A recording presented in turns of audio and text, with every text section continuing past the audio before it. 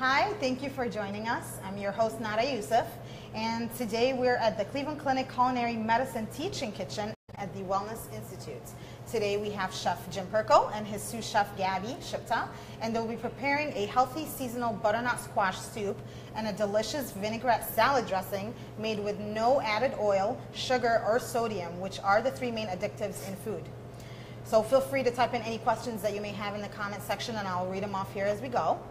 And thank you so much for inviting us to your kitchen, guys. Thank you so much. Um, well, Chef, I want to start kind of by introducing um, our audience to you and Sure. kind of explain to them what is a role of a chef in uh, Cleveland Clinic Health System. So that's a great question. And so what we do is I'm trying to create and develop culinary medicine for the Cleveland Clinic enterprise. And so what is culinary medicine? Basically, we teach patients how to eat food that's going to be healthy for them, and the bottom line is so they could love them back, right? So, example, you, it's a choice. People could choose to eat foods that promote inflammation, which is a precursor for all chronic disease, or you could choose to eat foods that fight inflammation. So, as you stated, the three main addictives in food are sugar, sodium, and fat. Mm-hmm. That's not going to love you back. No. The bottom line is you want to learn how to love and enjoy foods. You really want to be able to love foods that's going to love your body back.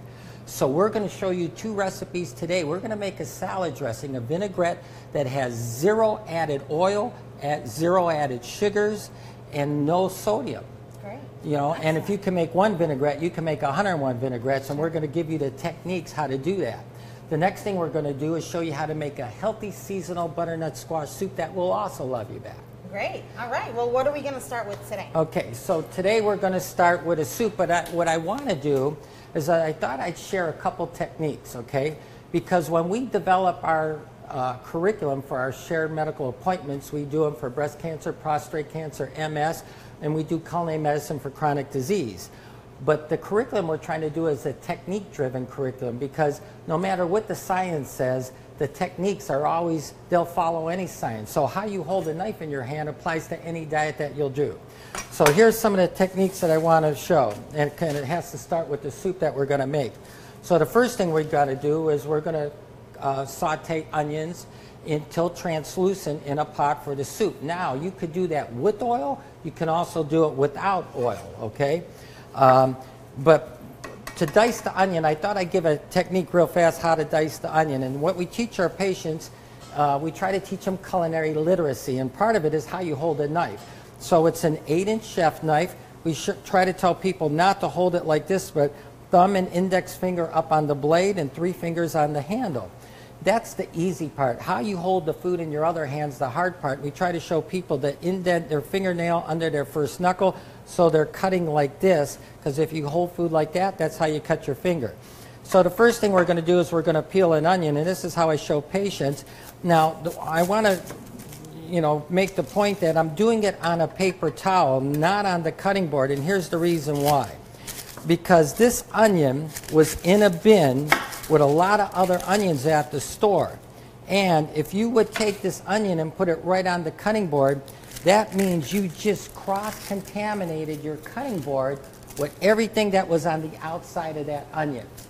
And now it's not such a bad idea if the onion is going to be cooked like we're cooking it in a soup today. But if you take this onion and you're going to eat it raw, it's a much bigger deal. Not to mention you cross contaminated your cutting board, right? Okay, so we got the onions peeled. Now we put the peeled onion on our cutting board like so.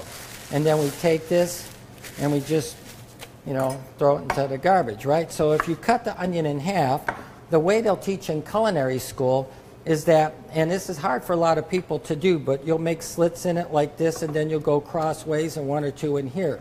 But the way anybody could do this at home, get perfectly diced onion every time, is all you got to do is you'll make a slice of onion, okay? Then you'll see when you slice it, the slices are half moons. All you got to do is pivot the slices and you will get perfectly diced onion every single time. I'll do that one more time so you could see it. And you could get it from end to end. So the onion slices are half moon. You always want to cut more with the back part of the knife rather than the tip because if you go like this, all these muscles are tight and tense. But when you cut with the back part, all, it's all relaxed. So now you cut, you cut on the downswing, you pivot the onion, and you'll have perfectly diced onion every single time. The other point I want to make when doing the soup is you could see as these onions, they're raw right now. So there's two main things in an onion, sulfur and sugar. Sulfur is what makes you cry when you go to peel an onion, right? Well, if I took this onion raw and I go to put it in the pot, then I go to add our vegetable broth in the pot afterwards with the onion. What'll happen is this sulfur will get infused into the liquid. And then you have this funky tasting onion water, right? So instead what we want to do, we want to take our onions and we want to saute them to the point of where they're translucent. What will happen when you start to do that, then that sulfur dissipates. It just goes out, poof. It's just like if you eat garlic raw, they'll come out your pores the next day. If you roast it in the oven like roasted garlic, you could spread it on a toast point, right? You diminish the potency of it. The same thing will happen with the onion. If I would continue to cook that onion further, then I start to caramelize the sugars and that plant becomes sweet, as in grilled onions, okay? So that's part of what we try to teach in our shared medical appointments. The other part that I want to give is you can make your life easy or you can make it hard just by the selection you make at the grocery store. Here's an example, okay? If you're going to buy the butternut squash soup, you want to buy a squash that's got a small bottom and a big top. Because if you have a big bottom and a small top, the bottom is hollow. It's got the seeds, it's the cavity, right? The solid part's the top. So you're going to, if this recipe, if a full recipe calls for 46 ounces of squash, right? You're going to have a lot of work and it won't be a happy time in the kitchen taking all the little bit of meat and the seeds and peeling the bottom part if it's big. If you got a small bottom and a big top, from here to here is solid. So you'll have a much easier time to peel and cut the squash. And then we also show our patients how you could cut a hard squash like this, where it's, even if they're really short in stature, how easily they could do it, just through techniques. That's why we do a technique-driven curriculum. So now we have our onions. They're at the point they're starting to come translucent. So now we're just going to add our ginger. We're going to add our carrots. And then we're going to add our butternut squash. That's diced. And then we have our vegetable stock, okay, our broth. Now we're going to add our vegetable broth, okay. And that's it. Five ingredients. The soup is done. Now we're going to crank up the heat, okay. And we're going to bring it to a boil. And then when it comes down to boil, we'll turn it down to simmer and let it simmer. So Jim, All I right. gonna ask you, did Yes. you add any spices, salt, pepper, anything? So the only thing they a- added to that was first we did a little bit of olive oil, extra virgin olive oil, which again you could do without oil if Sure. you want. The way to cook onions without oil is you need a taller pot and you go low and slow. A tall covered pot, real low and slow. Humidity will build inside the chamber in that cook pot. The onion, that plant will become soft and then you'll start to get onions translucent. If you want to caramelize them, it'll take probably about 45 minutes. takes longer because you're going real low and slow. Every time you lift the lid, you vent out humidity. You stir the onions, you'll caramelize the sugars in that plant. Uh, we added vegetable broth to it, okay, which has it's a seasoned broth Sure. because it's a vegetable broth, and then um, I added fresh ginger. And carrots, and that's it. Yeah. Perfect. And so, what's going to give this a lot of flavor as that cooks? It's going to reduce down. We don't need to thicken it with a roux. We don't need to thicken it with cream. There's no dairy. It's a vegan soup. What'll make it thick is the ratio of solid squash and carrots and ginger to the ratio of liquid that we put into it. Plus, it, it thickens as it reduces down. Then we're going to puree it with an immersion blender, and it was, uh, with the way this works, it uh, creates a vacuum in these indentations, and within 30 to 40 seconds, you'll have a beautiful pureed soup. Awesome. So, the next recipe that I'm going to do while the soup is cooking is how to make a vinaigrette salad dressing with no added oil and no added sugar. Okay? So, here's how we do that. Now, you could easily morph this into many variations on your own if you like. All right? So, the first thing we're going to do is I took figs and prunes. Now, you know, and figs are in season in the fall. You could use fresh figs, but most of the time of the year, they're not in season, at least not in this country. So, what we'll do is uh, I took dried uh, prunes and dried figs, put them in a pot, a small covered pot with three quarter cup of water. It'll reduce down to about a tablespoon and a half or so, the liquid, and then we put that in a food processor, along with a half a cup of balsamic vinegar. Okay, we got a half a cup of fresh blueberries. So you don't need blueberry vinegar. You want to use the real deal. So we're putting blueberries in there, fresh blueberries. And that'll add the sweetness to the, to the Oh, dressing. absolutely. I'll, I'm going to get into that. Okay. Then we got pepper. I got some fresh garlic. Okay. And I have a little bit of Dijon mustard. Now you can easily put in parsley. You could put in any herb of your choice. Okay. It's all subjective. Fresh parsley will add a lot of vitamin C to it. So now, all we're going to do is puree this. And that's our vinaigrette. Now, when our patients go to taste this, they see how really sweet it is. And I didn't add any sugar to it. So, part of what we do in culinary medicine, our techniques is if I could teach patients how to make something moist without adding fat, sweet without adding sugar, savory without adding sodium, how to add density without adding grades, and bulk without meat, and if I could show you how to flavor raw food, those are techniques that you could do to any diet, okay? And that's what we teach our patients, all right? So now we got our we got our and you always want to pre-toss your salad. So here's our vinaigrette. I just want to show the viewers how thick this is. Look at that. Look how thick it is. Oh, it's beautiful. If you want to even make it thicker, you could just put in chia seed, right? If you want to make this finer, I could have put it in a blender, right? And uh, really puree it, it would get even finer. So rather than pouring dressing on your salad, it's always better to pre-toss. So we're going to put a little bit of dressing in like so, and then you want to pre-toss your greens. One of the reasons is you'll always use less dressing, number one. Number two, you get to taste all the nuances in those greens, and then you got a beautiful, lightly dressed salad, and that's what you'd want to have. You don't want to have too much, you know, salad dressing in there.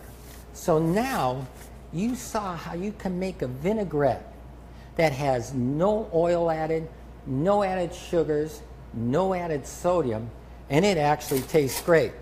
We're going to let Nadia try it. All right. All right? And she'll get to see how sweet that was. Oh, it's very right. Now, here's the kicker to that. It was sweet, and Nadia liked it, but you know what? What made it sweet? You got the sugar from the prune, the sugar from the grapes that were in the balsamic, you got the sugar from the blueberries, right? You got the sugar from the figs. But eat a prune, what happens? You got the fiber attached to the sugar. So I just didn't add agave or honey. I actually added naturally occurring sugars that had the fiber attached, not to mention the phytonutrients in the blueberries Yeah. and all the and the prunes and the calcium from the prunes. So what you're getting is you're getting a vinaigrette that's going to love you back. You always want to love and enjoy foods that's going to love your body back. That's an example of how to do that. That's amazing, and it's it's very tangy. I mean, it's it's sweet and it's tangy, and I can't believe those are all the ingredients you put in there. Yeah, That's and genius. anybody can morph that into a version. You could add a different berry, strawberries, oranges, nectarines, That's a great peaches, idea. whatever you want. Yeah. It'll thicken it. It'll add density. It'll add viscosity, and that's what'll happen. Great. Oh yeah, it's outstanding. Great. And then with the soup, or is, is everything done with the soup then? Are we? Uh, So what I do is I got the soup over here. All right, the soup is just now starting to come to a boil. So it'll take probably about every bit close to 20 minutes before this soup will be done. But I have one here that's already done, all right. already made, obviously, right? And so I can show you what that'll look like. Okay, while this one continues to cook. All right. I had a ladle there, Gabby, that was on the side. You didn't take it, did you? Okay. Awesome. Uh, okay. So now we'll take this soup. Okay. Thank you, Gabby. Okay. So here's what it looks like after it's pureed, okay? and we're just going to put it in. So you can make this as thick or as thin as you want.